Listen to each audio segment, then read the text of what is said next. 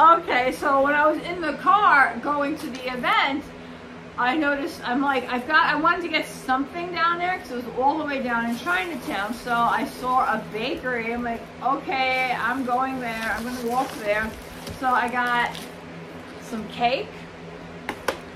Now she recommended this. Now I, it's it was a full moon like a few days ago, so it's a big Chinese thing.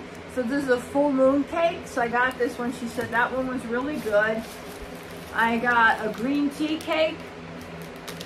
All this was $20, so that wasn't bad at all. I got strawberry cake. I don't remember what this is. I think it's scallion. Um, oh my god, coffee cake.